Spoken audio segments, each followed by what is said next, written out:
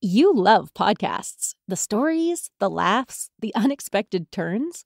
But when this episode ends, the silence starts. Not anymore. Audiobooks.com turns that silence into your next great adventure. With over 450,000 titles, from bestsellers to hidden gems, your love for listening just found its new best friend. And because you already know the joy of audio, we're giving you three free audiobooks to start your journey. Imagine your favorite podcast, now with unlimited episodes. That's audiobooks.com. Keep the story going. Sign up for your free trial at audiobooks.com slash podcast free today. Because for podcast lovers like you, the end of an episode is just the beginning. That's audiobooks.com slash podcast F R E E.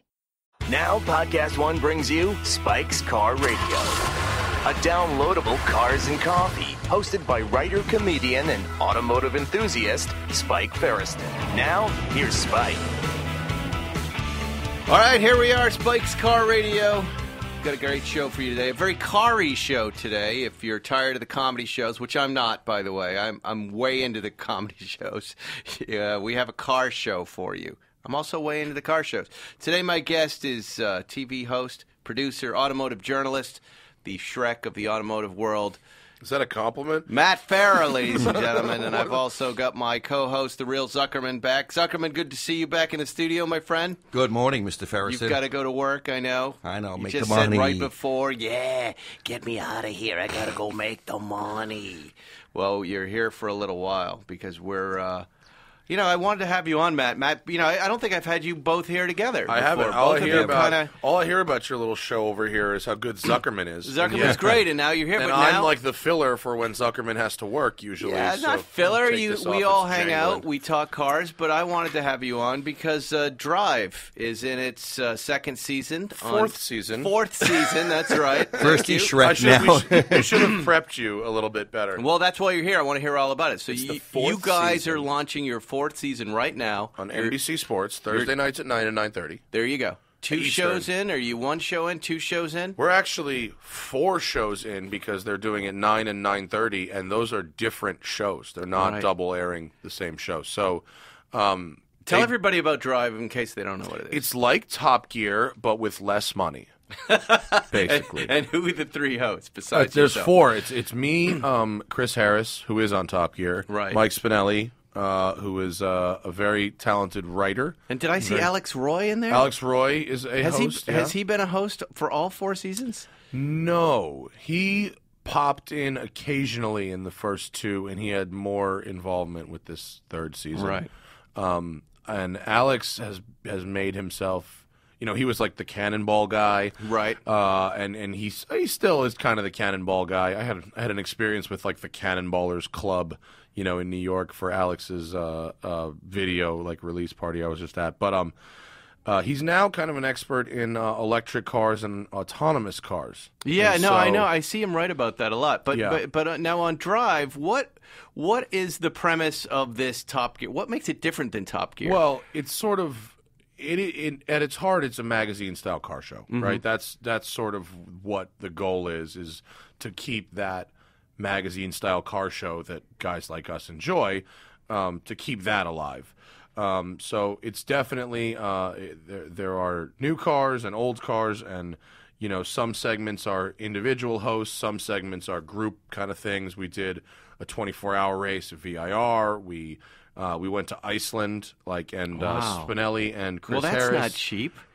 It is the way you do, we do it. I assure you. what do you mean? What If you w- took your family to Iceland, yes. it would cost more than the budget of this episode. I'm not. I, you, I, you laugh, Well, but I'm th- but doing the math explain explain the bit So that the you bit, were doing. here's the bit. The Okay. Iceland is an hour long special. Our shows are um they're mo- f- there's eight episodes this season. Six are half hour, two are an hour. So Okay. uh, Iceland is an hour, and um, we you know Iceland is an island in the middle of the Atlantic Ocean, and uh, we start in Reykjavik on the western side of the island. And the, the, the, the question is, and I think you know you have to you hypothesize or whatever. The question is, what is the best way to get to the other side? And uh, so uh, Chris Harris and Mike Spinelli drove a Ford Raptor across the center of the island, you know, next to the volcanoes, Right. You know, where the crazy off-roader, and actually, you know, they were on a trail. They're on. They were. There's a trail that goes through the middle. There's a lot of trails, but there's a there is a main trail that is very popular for locals, and so they took that trail from one side of the island to the other, and then I took. There's a ring road that goes, you know, it's like the one that goes around the whole island, and they have built this ring road specifically to make Iceland a road trip friendly country. uh, and so the road goes right by all the good tourist stuff, and there's hotels what are the and rest- tourist things in Iceland? Oh, I mean, it's all there's like nature, waterfalls, hikes. It's a very outdoorsy kind of place. The Mm-hmm. black sand beaches, um, stuff like that. It's a very like you know, uh, I hear the people are striking there. you know, I, just beautiful I men and women too. walking. No, it's not true. No, No. no, you're thinking, you're really thinking of Maybe uh, it's just their Norway, Sweden, like No, it was Iceland because I remember the Seinfeld cast or Jerry or somebody. NBC flew them. They said, "We'll fly you anywhere in the world." Uh, every season, they'd get the private jet, go anywhere in the world. And one year, they went to Iceland, and they came back and they felt so less than. Well, look, because I- of these uh, male and female goddesses. you didn't see it. I mean, look, I I'm not saying I didn't see the occasional pretty girl there, but I but I've been to Sweden.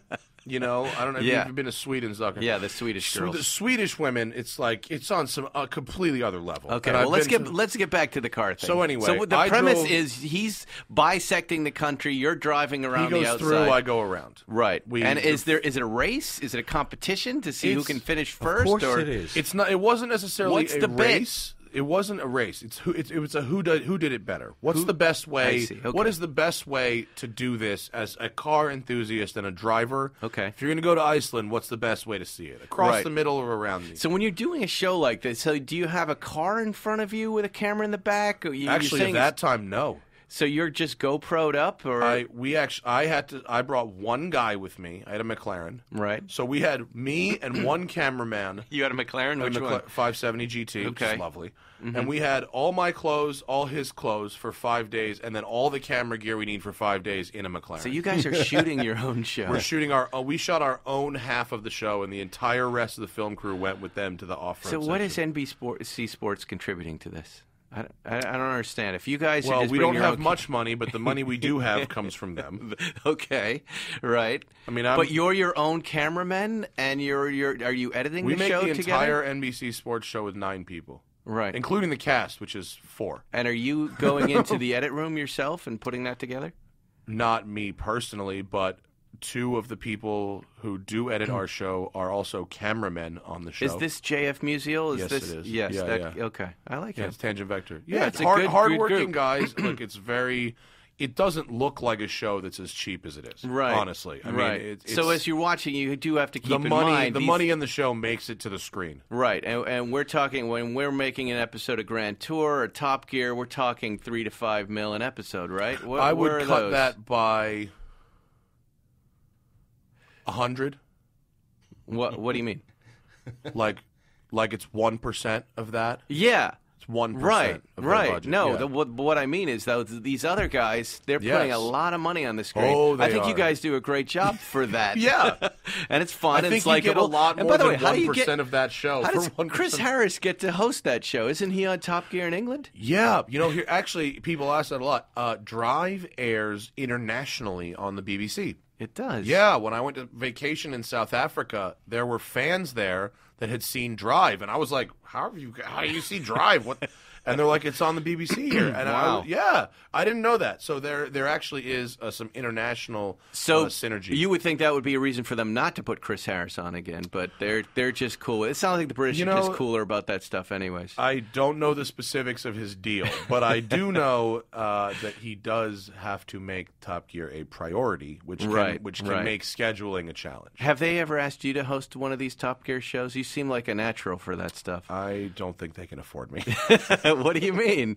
Of course they could. Uh, they It- could. I don't think they want to. No, I don't want to. Do, No, I know you're talking Top about Gear. Top Gear You and USA. I. You and I. That's a different. I don't mean Top Gear USA. I British mean- Top Gear. Yeah, like a British Top Gear, like that's the real like, ones. You know, that's like if if they asked you to take over for Jerry, you know, after season ten of Seinfeld. Why would you they know, do that? If all if it was still called Seinfeld in the same show, but then you were it.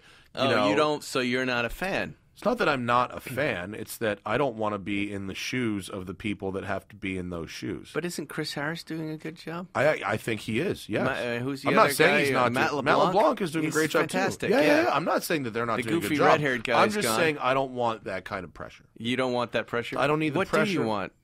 I want to make like the the Matt Farah show. You know this.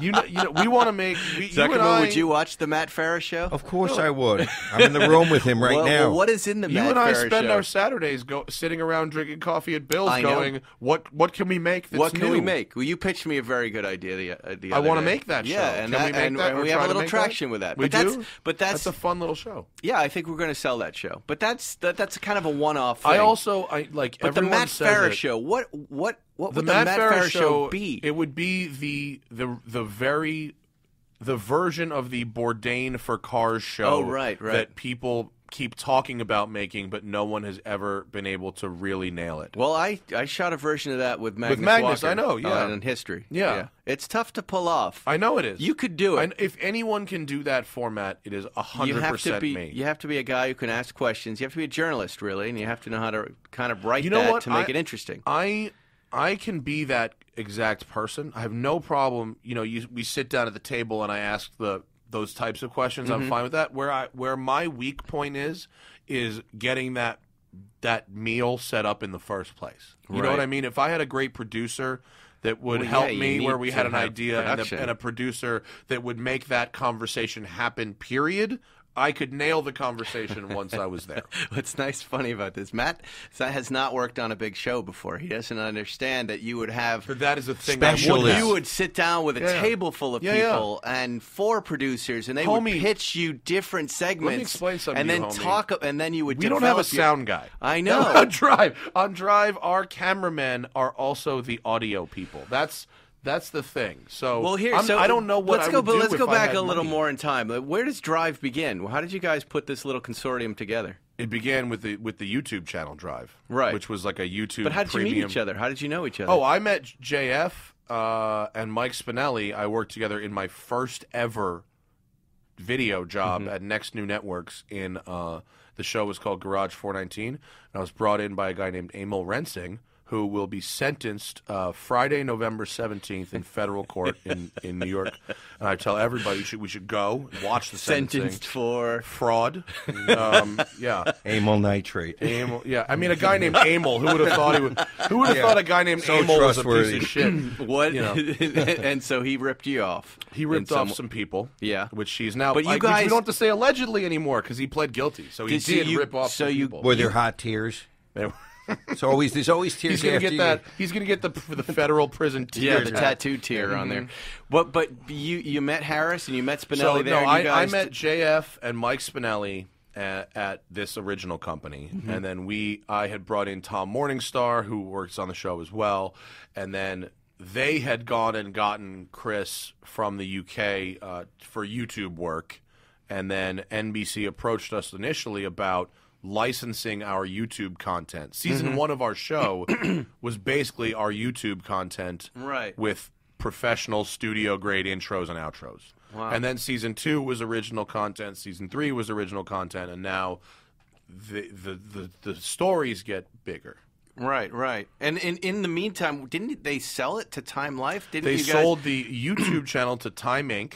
To but Time the- Inc. but they did not sell the television show. Oh, they didn't. So they sold the YouTube channel, which became The Drive. Okay. And I wrote for them for a minute, and then they kept the television show, and so JF and them at Tangent Vector, his company, they they make the TV show. Got it. Yeah. So it's what- actually it's really complicated. It, it sounds like it. That's And- Hollywood, and, though, right? You know, I've noticed because now That's Hollywood. Car Matchmaker is on NBC Sports. Yeah. Does your show ever air at the time it's supposed to air?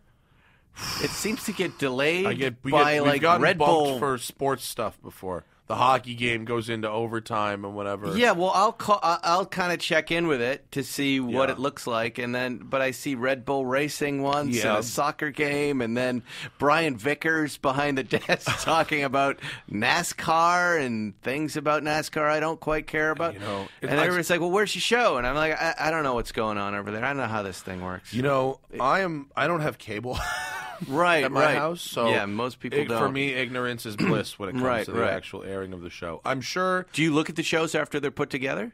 I watch. A, I them? watched a finished cut.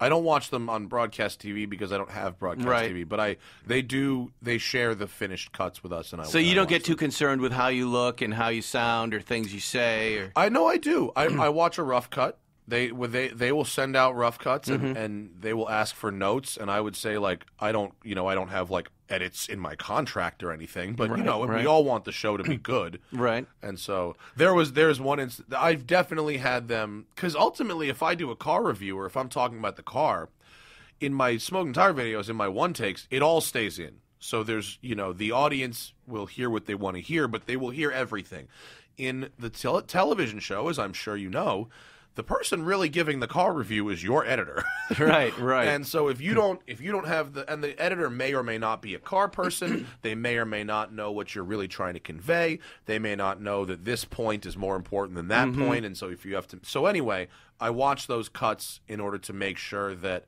um, that the overall impression of the review that the audience sees is what I'm trying to say about the car. You know, I just thought of a good show. You you and I were talking about one, Zuckerman. Have you heard this? Uh, this would be Spike and Matt's stupid car flips. Oh yeah, this would be a fun show. Yeah, and this is based on Matt's video that he made about his new daily driver. It was a 1990 it's a Mercedes. 001 Mercedes SL 500. It's a oh, great 01 car. Mercedes SL 500.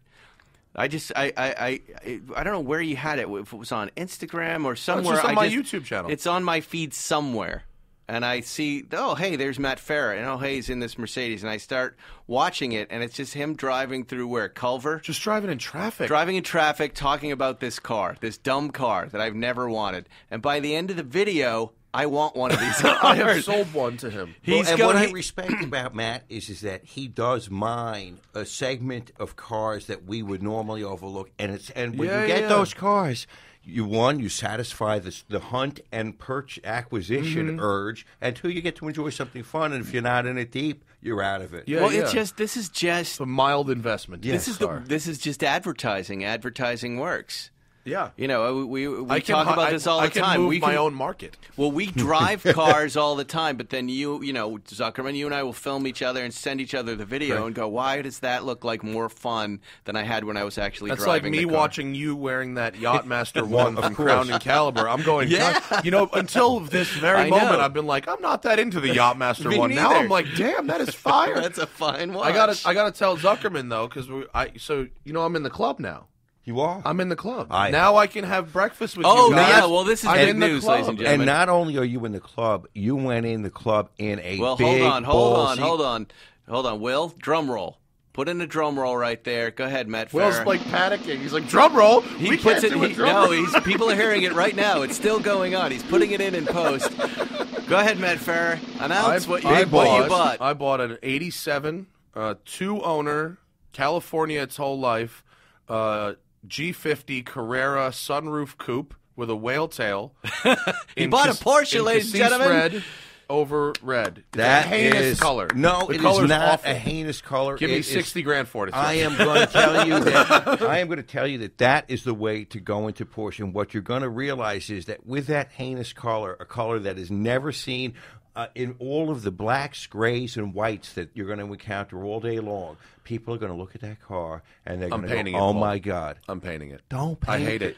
Drive I'll it- tell you what. drive it even for a month. It's a it's I'm, a well, purple. drive for a month. It's a he. I call him the Porsche pimp. when It's he saw, I saw it on your Inst- Instagram feed. He has a plan for it. He wants to turn it into a safari car or something. He wants I'm to do doing it. a he's safari a, build. He's a build guy. because he's not I, like because us. because. But look, let's just let's just welcome fun. him into the Porsche Yes, group you're here. right. Why do I have to should start be- telling him what Listen, to do? Right, but he had a really done. good he had a really good point about this purple color. When- so say, here- say what you said to me because So, I, yeah. I loved this observation. I think it's right on when it comes to purple Porsches. So People eater. Two things. One is I got this car cheap, and I got it cheap because it sat there on Pelican parts. Well, that's not the purple The, thing. the I purple thing is that everyone thinks that I now I got this car cheap because no one wanted it. All of a sudden, now that I have it, everyone thinks it is on me to be the savior of ugly purple Porsches. like all of a sudden, I have now a responsibility to save this. No one else bought this car. No one else bought It's this. been sitting there for a long. And what his observation was, which I loved, which is ev- all Porsche guys love purple cars, but they don't buy. Nobody purple buys cars. them. No one wants them. And I them. bought it, and I can do whatever and I want someone says to me, "Oh, you need to preserve the value of this." Oh, there's value in the car. Yeah. great. Give me twenty more than I paid right now. You buy a purple Porsche Yeah. and keep No, it. well, Don't make not- me buy Farah, it. Farah now owns that segment of the Right. color So, wheel. so here's what I'm going to do. Well, by the way, I said this to Graham Rahal because he wanted to get what is it? Is it the aubergine Zuckerman? Is it the aubergine Yes. color of the '73? Yes. And I said, really? He goes, "What do you think of this?" I go, "I I love looking at it, but I'm not going to ever buy it." You know, but Yeah. but because I. I'm I'm that same way. I love looking at ultraviolet, the GT3 RS ultraviolet color. Beautiful. I love, but on I'm not going to buy it. Somebody else's car. Yeah, on somebody else's car because Yeah. I don't want to hear everybody make grape ape jokes and everything Uh, you know and what though? I'm glad he's in. I think he's going to catch the bug in a big way. He's already I had already it. have. He's no, I already already, I had already it. have. I just so what's your have- plan for it? So I'm working with Leh Keen, racing driver Leh Who Keen. is that? Leh Keen is a GT racing driver. Okay. He, he won the Rolex GT Championship when it was called that. It's now called IMSA Tudor. Yacht He's Master. won the 12 Hours of Sebring in Mm-hmm. a Porsche. He's won. He's won a few big races in a Porsche. He's podiumed at Daytona a few times. Wow. Uh, he's a legit driver. His gig now is building these Safari Porsches. Wow. Now you guys That's have a seen real the- gig. Yeah, he's That's got a a, he's job, got a list. like mailman? He's got a list. Just take the deposits and run. Easier than doing the work. Right. So says Emil Well, so I- How long is his? His list. How long is his list? He just finished number six. I'm number fourteen. wow. Yeah. okay. So unlike the uh, the Luft Auto cars, which Right. you've seen, the white and the yellow Right. that Joey Seeley mm-hmm. and Pat Long and those guys are building, those cars are basically. Wait, they're building Safari 911s too. yeah, have you seen I it? thought they just built the white one that Right. Eli I bought. thought that was just one. They've they're now on number two. They are building the second one. How So- many Safari car 911s does the world need? I don't know. We're talking about like 16 cars. I already think it's Listen, saturated. Porsche, Porsche was, it was raised- saturated after one. Look, Porsche right? was raced The have Paris, been rallied. Has, uh, Porsches have been rallied throughout The their Paris entire Dakar existence. 959. Yeah, Entire I, I get it. you Yeah. are correct about that, but what does it turn out to be? Here's- Tell But Here's what, do what- you? Who's driving that? Here's Did- what I think that living in Los Angeles is a lot like off-roading. Yeah. And I think the, the roads I are have, bad. I have driven Leh's personal safari car. Yeah. I, I did a video on it for for uh, for the show. This vehicle was one of the it was one of the finest motoring experiences I've ever had. Period. Really? driven a lot. Did of, you drive it on dirt road where it was Yes. meant to be I driven? drove it on tarmac and I drove it on dirt road. Right. On tarmac, it rode well. You really, I mean, yes, you lose handling limit because you have off-road tires, but on a highway cruise and in, in some mild sweeping bends, it still feels like a 911 is supposed to. Be. Yeah, feel. no, I, it sounds cool. It does if you live you're in Utah and you have a dirt road or out in the country, I totally get it. I'm Dude, just saying. do you- are you aware of the amount of desert we have in this state? Really? You can Here? drive. You can drive Come on. 30 miles outside of town and have Wait, is it sick the avocado trails. a fruit or a vegetable, Zuckerman? Which is it? You can have. we went through this earlier, but I know we, we don't have- live here for Then the what desert. is the legume? I know. I, I, here. I, I hear what you're And saying. also, so you'll I- go up to Go- Gorman or somewhere yeah, like yeah, that and have fun. And, rip I want to drive. I'm going to drive it to Mammoth skiing, fun. Big Bear, stuff Okay. like that. I mean, look, I already have my Mustang, which is the is my Canyon, you know, Yes. car. I don't need to have a Porsche that serves where I have to go on this day. Do I choose one of these two cars? You're, you're scratching your head, Zuckerman. he d- he cannot possibly understand. No, I can't understand. He's going to do the. Porsche thing his way. I, he is going to do it saying. his way. But like anything else, I think that the Porsche experience makes you eventually do it their way. That's that's what That's happened to me. Because Yeah, that's funny. I, It's funny. That's a very funny observation. I started trying to do Porsche it's like a homeowners association, right? you know. Or like yes, It's like one of those horrible country Yes. clubs. By You- your 70th they- birthday, you're the one telling people to tuck Right. their shirts in too. Right. You you get co opted. You don't co opt them. And and that's and remember I started with the Green Goblin Yeah, and I had yeah. some other like R group E cars and other stuff Mm-hmm. and then all of a sudden eventually you say, you know, maybe these you know, this this factory of German engineers really knew what they were doing, and I should respect the original. But that could happen. That's you have a point. I mean, you have a point. I think. Hey, by the way, Porsche, if you're listening, what about a new Safari? I mean, that I think of the hon- 911? honestly, a brand new Safari 911, I think That would really be pretty kill. sweet, Yeah, even if they just do it as a fun thing for the concept lawn at Pebble or something. Yeah. you know, the problem is they don't have a sense of humor. But No, they the, uh, um, they would do that, like you said. There's a rich history of these cars. I, I understand that a lot of people see the Safari thing as a trend, and it's as it's what's hot right now. When I'm jumping up, the fact of the matter is, not a lot of people have driven as many of you, are you're an exception. that Safari guys- are hot right now. They are. This is when there's been 14 made, right? No, the new we're- he's on Taylor Swift six. is hot right now. Whatever. Safari cars is pretty low on that list. I, well, in the, the world that we In exist our yeah, in our little Porsche, Yeah. Safari cars are pretty hot. I mean, I have I am one of the few people out there who's seen these things and have actually had real seat time. In it, Yes, that, that's that, true. that don't own them. I found the experience of driving it to be wonderful, and I And think, you're gonna and build I would one like now. to have that experience. And so, what are they going to do to your little purple So- uh, pimpy mobile? we are the engine ma- stays mostly stock. You don't Okay. Mm-hmm. need a lot of power for this stuff. So we do 964 cams, we do the chip, we do headers and exhaust. That's it, and service it. Okay, and we are putting air conditioning in it because I want to drive the thing a lot. Mm-hmm. The suspension remains a torsion beam rear suspension. It's just longer travel. It's a four inch lift. Okay, and then you have the Fuchs wheels refinished with the RSR finish, the silver RSR finish, Mm-hmm. or the grayish finish. BFG all terrain tires, 16 inch mud flaps, ducktail wing. I'm going to sell the whale tail. If you want a whale tail, I got hook you up. Who wants a purple uh, whale yeah. tail? Ducktail, uh, ducktail wing for my bedroom wall. Fog light pod in the front. Um, you you you tighten in the bumpers a little bit. You get rid of some of that accordion shit. You know, um, uh, little bash bar in the front, kind Mm-hmm. of low profile with a skid plate, uh, roof rack, and then you you go wild in the interior. Fun fabrics, pashas or something cool. It's Zebras. not. I mean, it's really not over the top. No, it sounds actually It it sounds sounds, cool. great. And, and honestly, and I what is drove the what you- is the final color going to be?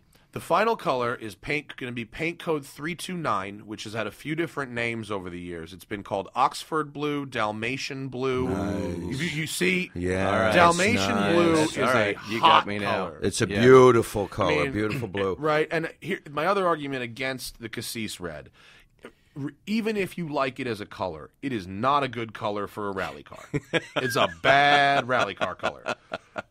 And so- Dalmatian blue is great. Dalmatian blue. If you, if those of you out there look it up, it is a hot color. It's got Yeah. a, this electricity to it. Yeah. Especially like you know when they painted it back in the day, some of the older car. If you see a car that's freshly restored with Dalmatian blue, woo! It pops. Oh, it pops. Okay, he sold me. All right. But I'm I'm, I'm Make easy. us three. I'll tell you what. When I get the cars, Zuckerman, drive it for ten minutes, and you tell me. It's fun. It's I drove Eli's little- car. Oh, you did. I did drive Eli's car, and I fun. loved the lean. I loved the travel. Yeah, You know, it really was fun, despite all my shit talking. Mm-hmm. Yeah, there you go. All right, It's we'll be right back with more Matt Farah after this. When you're looking to buy a car, you want to make sure that you're getting real pricing on actual inventory. Unfortunately, a lot of times this isn't the case. People configure cars online only later to find out they're not available. This just happened to my brother. Well, with TrueCar, you get real pricing on actual inventory. This is not pricing offered by TrueCar, but pricing from an actual dealer. And not just any dealer, but a TrueCar certified dealer. This is a carefully curated network of dealers committed to transparency and offering you a competitive market price. Using TrueCar, you can easily find the car you want. Next, TrueCar will show you what other people in your area paid for the same car you're looking for. Now you know what a fair price is, so you can feel confident. And don't we all want to feel confident? Over 3 million cars have been sold to TrueCar users by the TrueCar Certified Dealer Network. There are over 13,000 TrueCar certified dealers nationwide. You will work directly with a TrueCar certified dealer contact. TrueCar users are more likely to enjoy a fast buying process when they connect with TrueCar certified dealers. TrueCar users save an average of over $3,000 off MSRP. When you're ready to buy, visit TrueCar to enjoy a more confident car buying experience. Some features not available in all states. And guess what? I'm not telling you what features and what states. Hey, it's Jay Mohr, and it is time, finally, for America's Lakers podcast. That's right, I'm going to be hosting America's Lakers podcast. My man Aaron Larsuel, an analytical genius, he's going to bring to the table what I can't every Wednesday. America's Lakers podcast exclusively at podcastone.com, the podcastone.com app, which I highly recommend.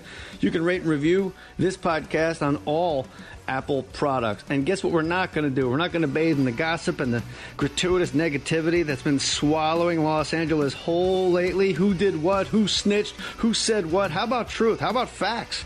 How about statistics? How about rotations? What's Luke Walton thinking? Who's underperforming? Who's overachieving? Who's rewarded? Who's coming? Who's going? And what are we going to do with all that delightful, delicious cap space? America's Lakers podcast with me, Jay Mohr, and my man, my brother, Aaron Larsuel, every Wednesday. Podcast1.com. You're listening to Spike's Car Radio. All right, everybody, welcome back to Spike's Car Radio here with the star of Drive on NBC Sports, Oh, Matt Farah, and of course, one of the most vile human beings and car collectors in the world, the real Zuckerman. that is so You funny. piece of shit. That is so funny. The Homo habilis of the most- automotive the most vile human being in car collecting. That is so funny.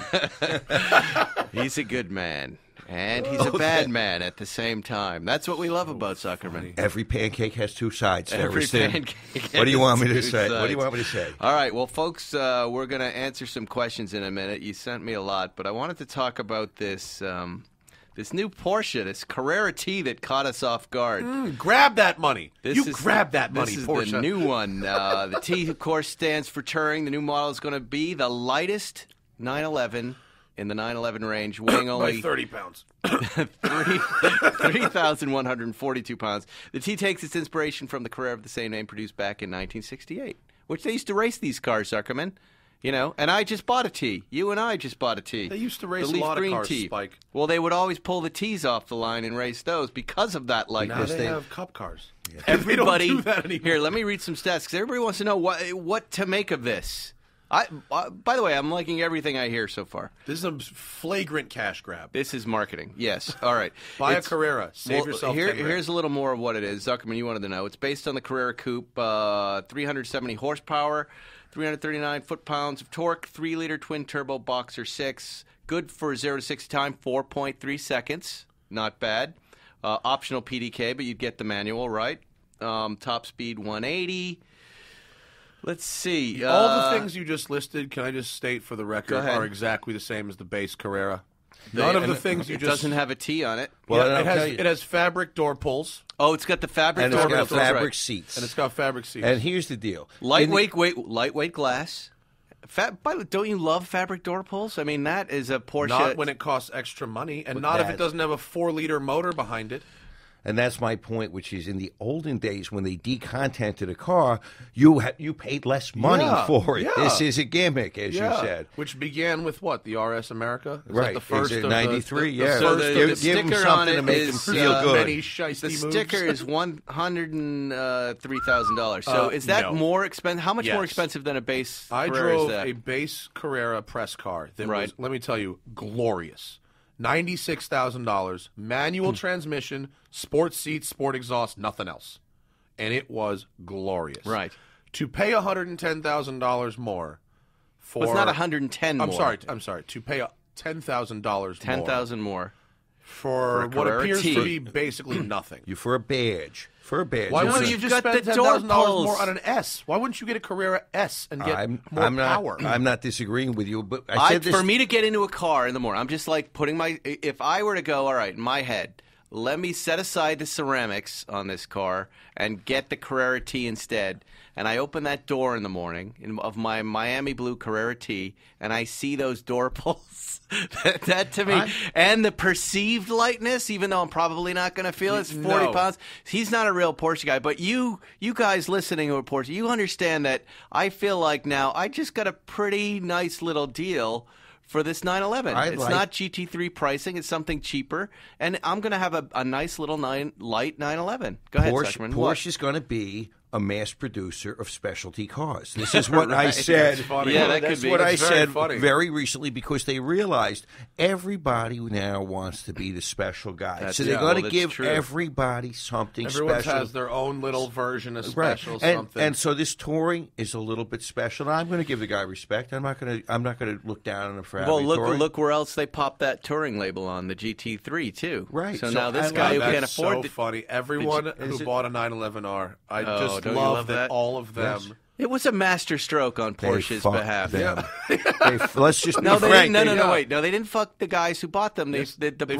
brokers, Yes, the guys fucked the who traded the on them. speculators. The, And the then they black gave- market. Yeah. And they gave the purists a car like it. I mean, it was a total win. It's a And they had to. masterful move. And It's so really it always brilliant. that and the tightrope they have to walk is not to make it too accessible, and that's why they have to keep slicing the pie ever so smaller. And are we going to reach a point? I think currently there's 29 versions of the 911. are we going to ever get Are we to slicing 50? the cheese too thin? I- No. you know, I once back when Paul Walker was alive, live, and they had just shot Fast and the Furious Four, which we thought was hilarious. That they had made four, Four of of these, these, stupid right. movies. Right. he Yeah. was well aware of how stupid they were when he was. You should see the size we of the had a- producer's house a in my bet, neighborhood. And he bet me that it would make it to 10. And I was like, no, not never. And he goes, if we make it to 10, I'll give you a 100 bucks. I was like, all right. They're about, they're about to make nine. I Yeah, mean, so it's yeah, like, will they're gonna. ever? Will there ever be? You know, someone was. Will there ever be a 500 horsepower naturally aspirated 911? Will there ever be 50 variants? And then they'll make. They, they're going to make a Safari, a Safari cab, a Safari Targa, A Safari touring. Safari touring. They should so. Uh, Jerry had the best idea, the test mule package on a 911. I Where you just love have the- that. the yeah. body cladding? yeah, body cladding or dazzle or whatever you want. You can have the different versions, but a safari version is another great idea. Well, Mercedes is doing it right. The you know the, they first they sold the six by six, and they said that we're going to make a hundred of these, the and dumbest. lo and behold, they made six hundred. Yeah. Then the the Jeep four x four square, Yep. Mm-hmm. the shorter one, which looks hilarious if you see them running around Beverly Hills. Yep. And they made five times the number of that, and now they're making this E class wagon that's lifted. Have you seen this thing? No, I haven't seen that. They took the portal axles that give you that crazy lift In an E class? and they put it in an E class. And so now they have an E class Genius. lifted on. It's sick. Some, somewhere, somewhere in a third-rate nursing home, the guy that penned the AMC Eagle is, is telling is telling his nurse, "I invented this. I invented this." They're like, "Yeah, shut up, old man. And then Let Paul, me Paul your Hogan hand." down in Australia is like the world's second sport utility wagon. You know, What is the use of the jacked up G wagon though? I mean, I I, I saw one in Beverly Hills. G-Wagon? Yeah, I mean it's they're spectacular for off roading. but yeah, but here I'm only seeing them in Beverly here. Hills. Of course and they're stupid here. You know, can I remind you, sir, yes. that you drive a Porsche GT3 at Yeah. nowhere near the fucking pace that that car is capable of going. Hallelujah. You Oh, drive I- I that, drive that car you drive fast. that car. I'm gonna put Leh Keen in that car with you. Where in the GT3? show- he'll show you what fast is. Oh no no, you I drive a GT3 to breakfast. Don't tell me I about do. what a car is not. But I made drive to them do. on the track too. I I know what that car. I know what that GT3 RS can do on the track. I had that it guy, around Atlanta. that guy parked in front of Hermes probably goes off roading every weekend. No, he was. The, take a guess. Take a guess. Because it's so stereotypical LA. Take a guess who was in the car. I'm what not what the job? Wh- It- when don't, you saw that car, Yeah, they, I, whose car it was. What what what they did. who's actually buying? yeah, that? who was buying the car? Who bought it? Who I bought would- it? I would say it's not going to be a rapper. It was a rapper. Was it a rapper? Oh. yes, it was a musician. Oh, that's the musician choice. It's not just rappers, by the way. It's musicians. It's that's what they're doing. They're driving around in this jacked up. Aren't those going to tip over? Aren't these guys so going to tip over no, you know why? You know why? You know why they don't? Mercedes has this hilarious fail-safe system where if the wheel is turned, I took a G wagon to a track day once. Yeah. Yes, this is dumb, but I took a G63 to a track day at Willow Springs, and I learned that if the wheel is turned more than about 45 degrees Mm-hmm. either direction, a G wagon will give you about 10% of Really? the available engine's horsepower. Wow. and then it will you can you could stand on the floorboard with that gas pedal and you'll get nothing until that wheel is straightened out again. And then and then like a switch. It's like you know you're you got the wheel turned you you brake you turn in right? You go to get back onto the power and you got nothing. And then as you straighten the wheel uh, switch, full 500 horse. Wow. And then Those and- clever Germans. The Germans, the and that's, crowds. that's why people don't roll G wagons. Fantastic. All right, let's Wait, take who was some. driving the, the who was driving it? I, I don't know which guy. I was told by the paparazzi guy up front. Oh. I, I didn't bother to ask. But it was a beautiful, uh, like metallic brown color that I hadn't seen Uh, before, and I am intrigued by it. But there's also this like uh, soft green color, this non-metallic green that Mercedes is Mm-hmm. seen that. making right now. That's beautiful. Like it's almost like a army green, right? Yeah, it's almost like this leaf green 911T Mm-hmm. that I just bought. That's All what I didn't say. Congratulations, that's a nice car. Thank Looks you. cool. Yeah, uh, looks yeah, we're. I'm in the process of sorting it. Is it- it's. uh, it I put new tires on it. That that made a huge difference. Modern tires on old 911s make all the difference in the It's world. got They 14, become it's very got 14 inch wheels on it, and I could see you very instantly meet a roadblock with 14 inch wheel Fuchs. There's nothing except Michelin Defenders, and that's what it was on there. But it was like it was. Imagine just trying to run in rain boots. Yeah, yeah. That's what it felt like. Did you buy new Michelin? I went Defenders? to no, I went to Pirelli, and they make the vintage tire now, the Oh, okay. CN36 Cinturatos or whatever they're called. It's a new rubber compound and a vintage look? No, it's just Ex- the yes. vintage look exactly, and it was a ni- it was like putting Nikes on for Really? the first Oh, time that's and running. The car is just light as a feather. It's got a second gear synchro issue and a couple little paint issues, but it The is color. such a winnow. And, and the color, The color's nice. yeah, you can't drive color, but people are enjoying the color. But the feel, like the the relaxation this car is delivering. Like when you're stressed out, Zuckerman, when you drive this car, I took it through the canyons. You just, you, it's like you just had a Valium the- and a massage. It is the color. It's unreal. It is the color of the mental ward. it wasn't the color. It, it was- really is. It's a soothing green color. But it's not the color you can't see. It's the T, the mm. lightness. Uh, I I've never owned a 70T uh, before. What does a, what does a a- 70T come with for, compared to a, a regular 911? Is it lighter? Well, I can tell you the difference between the 70S and the 70T is the front end. The 70S is really more of a race car, and the front end feels totally different. In this car, I it the T is so light. Zuckerman, I don't think you've ever I felt anything like systems? this. I don't think you have a torsion bar on the front of the T, and on the S you probably did have a torsion bar. Uh, There was a it was on solid footing on the front wing, the bigger wheels too, and it's just Right. but it's still that light springy 2.2 liter engine engine. is- is totally that's different. there. It's really, even it- that it- revability. And it's but you've got the, these little things like the seat in my 73T. That seat that we felt when we first sat down in this leaf green, it's the same feel. And you go, That something's some guy wrong with- here. Some guy who leaned But to it's the not. left on his Oh, fat yeah, ass yeah. wore that Oh, seat. but in. it's not. over- yeah. It's just he likes it. As, comfortable. I probably is going to send me to the chiropractor. No, I I have a very sensitive spine, and so if I get into a car like that, I, I a half an hour, and I'm in I've never heard anyone pain. say that I have a sensitive spine. All right, too uh, let's let's get to some Jewish. questions. Let's get to some questions here. Michael Morgan, discussion on vintage Rolex. The only thing going on in vintage Rolex happened Paul yesterday. Newman. The Paul Newman Rolex went up and crossed Oof. the block. You I it, officially you, said fifteen million dollars to my friends. I was pretty close because it went for fifteen five. Yeah, yeah. All said and done, seventeen point seven five two million dollars. Uh, what did you guys think of that? Is that There's watch too many worth rich that? people. Well, It's just too many rich people. these Phillips guys. The person who bought that has so much money they don't even. I know who bought it. Yeah? I'm pretty sure I know who bought it. Rolex bought it. That makes sense. That's sense. the word on the street is Rolex Really? bought it. Our, we we heard from a guy who's uh, in touch with the Silicon Valley types who knew two people willing to go to eleven, and I think they were bidding against Rolex, which you're never gonna you're not We- winning we- if you're I bidding read against that Rolex. The, I- so. I mean, who knows if it's true? But I read that because didn't the bidding go from one to ten? no, no, yeah, That's what I. Yes. I downloaded the app, right? Yeah. So I could watch this. It was so exciting. And he said, "Let's open the bidding at one million. And someone yelled, 10 million! So and it stopped the room, and the guy thought it was a mistake. And for 45 seconds, it was the hamburger, cheeseburger mumbling of the crowd. Like, I don't know, I don't know. what's happening? Was that real? I don't know. I don't know. 10 million, and that's where it started. It was, it was really was exciting. I saw that happen at Pebble once, where Yeah. they opened the bidding at at you know 500k or whatever, and the first bid was seven million dollars. You go, a- what the fuck? No, no, it's a legitimate intimidation Yeah. that we that I learned from David Gooding and Charlie the auctioneer. That if you want something and you know you, the number you're willing to go to, Yeah, you'll try to weed- shut everybody down. Yeah, you'll weed out a the bunch problem of is you're not shutting down Rolex. Yeah, well, because what, you- what you do there is you you do you prevent a momentum from Yeah, being built and it up. happened. Yeah, yeah. And I saw Well, it. It was so- lovely. But what I went read was that Rolex threw down that ten right away because they wanted to guarantee it went for over ten.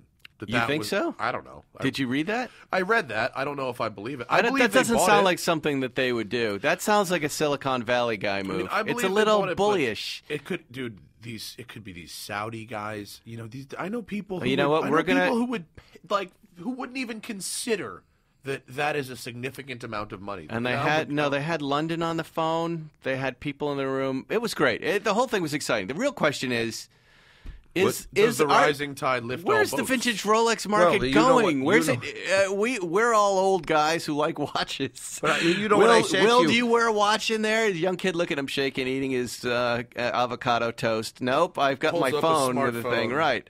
That's. And I said, does Will know who Paul Newman is? In 25 Do you know who Paul years, Newman is? Yeah, he's an actor. In He 25 years, no, they, he makes salad dressing. That's what that guy knows out there, and that's the problem. He also 25 made some years, pet treats. Yeah, 25 years, everyone says Paul Newman. Like, eh, like if I said Lionel Barrymore, Yeah. like who who gives a shit about Lionel Well, that's Barrymore? you can say that about cars too, but I, I don't know. I, I, I get don't know. the I think I think we're beyond uh, peak McQueen, and uh, McQueen. I don't seems know about be- that either. I, Well, I we disagree. certainly will be in 20 years. yeah.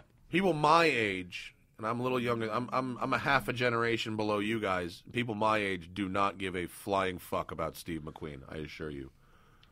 Paul, Um, Paul Walker is our Steve McQueen. Right. All right, You let's go to I some mean? more A questions Paul here. Walker's skyline in 50 years may carry more value than maybe not a McQueen XKSS, but one of McQueen's like regular cars. That is my I, dream uh, car. Joel That is my McHale dream car. Paul, icon. Walker, How Paul about? Walker's Skyline Yep. is your dream car? Mm-hmm. Yeah, see, Number four. Yeah. Can we Yeah. get one?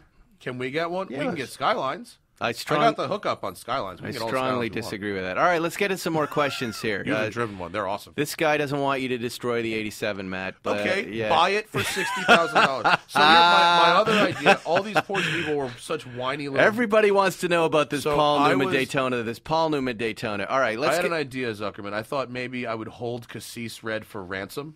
I would do a Kickstarter, and if I got like twenty grand on the Kickstarter, I'd keep Cassis Red. Otherwise, I would do a live stream sandblasting. I think you him. should. I think you should get the money and get the car. All right, here's Amyl here- here- nitrate, Matt, right this is a question for you. Focus, gentlemen. Drive a sorted five-speed 928. This is Wisco whips and watches. I did. I think your opinion would change.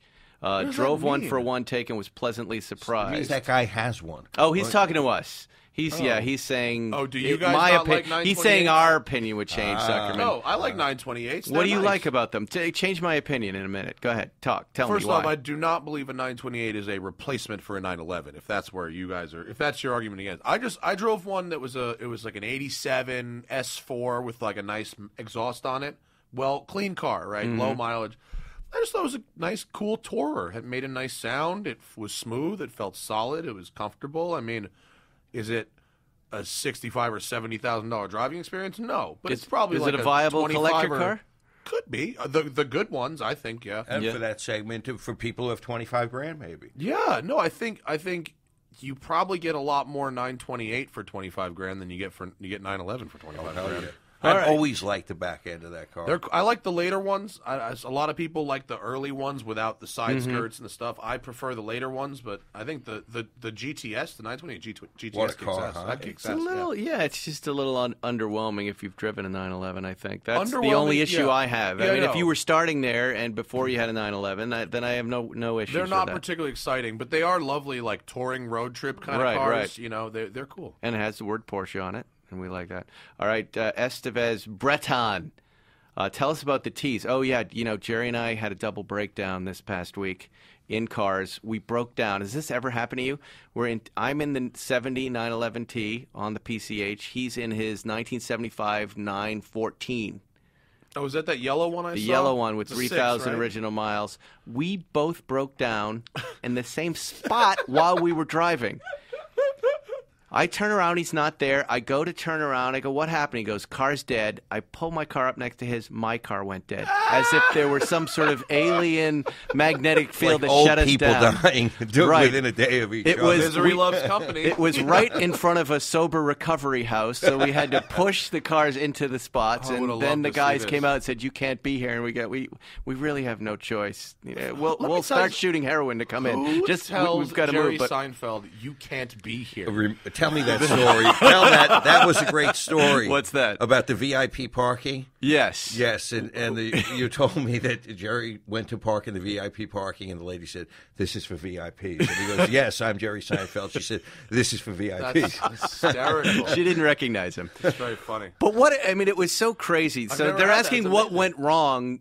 You know, this is why I drive a new car for a week is to find the things that are going wrong. With the 911T, it was batteries and starter. Okay. So the batteries were dying and the starter but was once going. it was already running, you know are what? you, when did the, it die, wh- or when- did you shut it off and it wouldn't? No, no, again? it would not start again. Oh, okay. Yeah, I turned it off. I went to start it. The engine was hot. The starter was hot, and that was stopped it from working. The batteries are low. So if that it had sat for another hour, did it start again later? It did not. Uh. No, we were able to after an hour. After an hour, we were able to push start it. Okay. And we drove. I drove it to Bill's, and then it died there too. so, Oh, no. but I would rather wait for the truck at, At Bill's. and Bill, by the way, Bill is the proprietor of the uh, Malibu Kitchen. Saw it on the Instagram feed. You can see all this stuff on my like Instagram with page. promotion. He's gonna have to change the name of that place to Bills. We just keep calling it Bills. I feel like we're doing him an injustice. A minute, a minute after I post, he he shows up in his Range Rover with bagels and coffee and cream. He delivers it right to it. He's us. a saint. He is an all star. They all call him the sandwich Nazi, but in fact, he's more like a, the sandwich. And he saint. brought and he brought fruit. And it, I was flagging at that point. I hadn't eaten breakfast and I had been standing in the sun. That was that 106 degree day, and it really saved my life. Bill, we And love Bill. you. So And Bill and came Jerry's car, rescue. Jerry's car, uh, we think it's the fuel pump, but his just he stopped at the red light and it just never 3,000 it miles. never It's amazing he doesn't. It doesn't piss fluid every time you turn the key. He'll Well, be in, that's- he'll be in over a that's- hundred grand before you know In a it. 914. For That's what happens with these cars car. that sit, these Yeah. cars that aren't driven, Yeah. right? You know, my fee. car is Um, getting better and better the more I'm driving it. I just did brought my Mustang to Las Vegas for a YouTuber project car challenge at the Mm-hmm. racetrack. And there were five cars in the challenge, and my Mustang was the only car that didn't have his hood up I- throughout the day. Yeah, yeah. I thought I saw it go up when s- it set up. No, no, that the car, the smoke. Yeah. that was Rob Ferretti's Corvette, which Oh, caught okay. fire. That's my hilarious. Mustang was It caught a- fire? it caught fire. Real fire, Real- burned to a crisp. No, no, not burned to the ground, but 100% flames engine fire. All right, Yeah. M M Fingleton seven seventeen wants an update on the Zuckerman Speedster. Now Zuckerman was in an accident in his fifty eight Speedster, hit a uh, van You full have of ca- cause to sue. He hit a van full of cats A van full Fuck of off. With a two hippies. I yeah, swear to God, a stone, a stoned, a very nice stoned hippie guy with bleary red eyes and a Star Trek T-shirt, and two large hippie women in peasant skirts. And I asked them, "How are you?" And they said, "We're fine, but the cats are upset." and, and I, what? What? What are you saying to me? And yes, we have ten rescue cats in a van. And so I did get a check from my insurance company. The first check for the initial repairs, one hundred seven thousand dollars. the t- the budget for this, right? Well, not the budget. The damage is it's one hundred seventy nine thousand, right? Probably by the time they So- do the supplements and finish. So where's Will- is Will Hoyt Will working on it right is- now? No, it's glacial. It's It's glacial. It's glacial. It's That like means it's just sitting be, in the it's gonna be lot. Two years to fix that two car. two angry years, and I just said, dude, I'm going to take some Keyman life insurance out on you, Will Hoyt, because this is this is taking a long. It's going to take a long Yeah, ass yeah. time. That bastard, and I love him, but that bastard has three of my cars right now. Unbelievable. The problem with owning a Porsche is that the people that can work on them well have a backlog like you wouldn't believe. My friends at BBI Autosport that they set up my Mustang. I mean, my Mustang is the worst car in the shop in, the, in a dozen years, but they're going to be doing the uh, the engine work on my on my Porsche, which is basic stuff. But I have I have an appointment now for February. Worse than your HMO doctor. And w- you know what he said to me? Well, on another car we were doing, he says, I didn't know it would take this long. I said, You've been doing this for 50 years. When do you know how long it takes to do it? All right, here we go. I Uh, just caught drive and was blown away by the DC drive trains.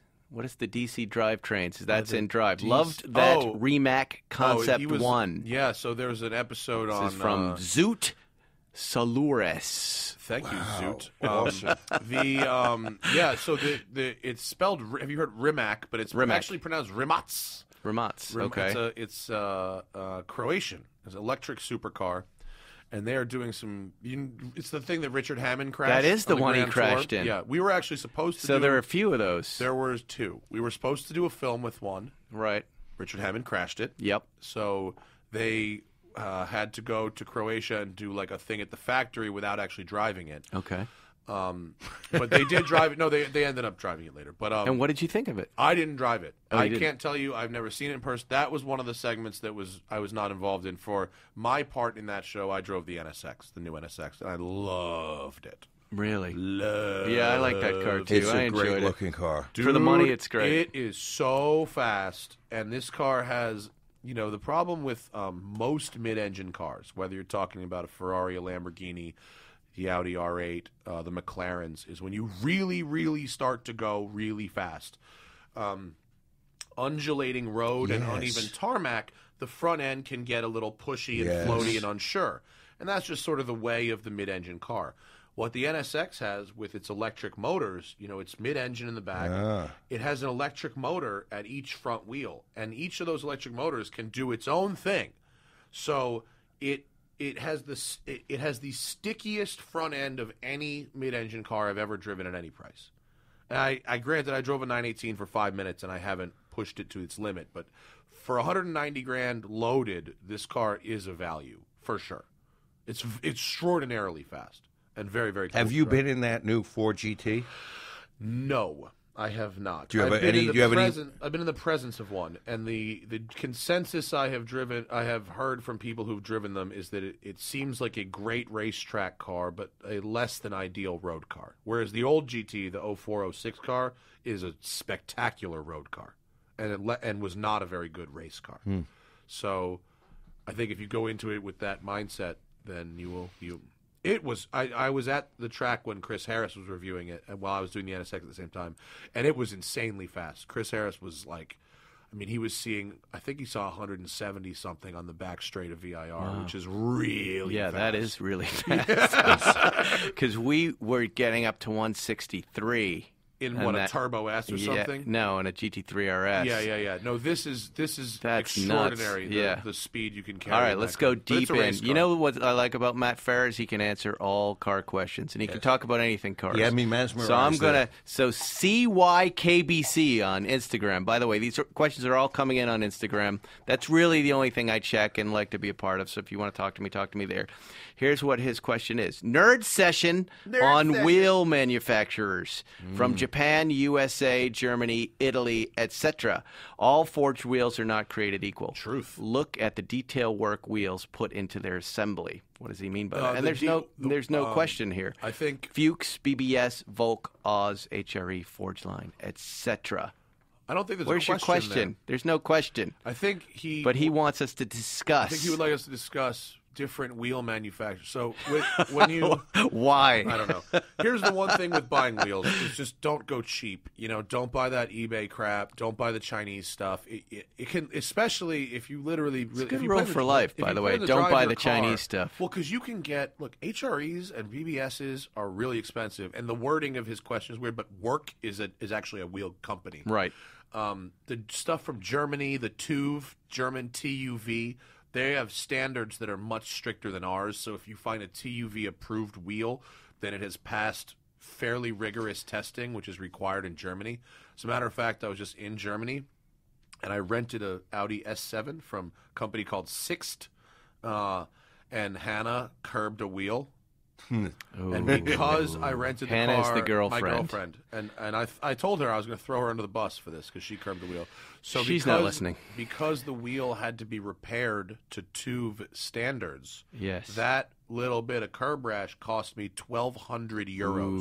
TUV equals FUK. Yeah. So I so so are any of these wheels at Ready Rims for rent? Can you can you can we rent this If shit? you're doing your first track day, I recommend renting rims. For All right, Joshy Perot, and then we're going to get out of here. He's got a question. Let's talk Fords. I'm a former five liter guy since 1990, but now an air cooled guy and never going back. The Fox bodies seem to be creeping up a few years, but now seem flat. Do you see them ever increasing in the market? And how do you feel your modified notchback stacks up to a stock 91132 of the same interesting vintage? question. When and is this below show that, going up? Tiffany Stone, three thumbs up. When is this show going up? Airing. Which show?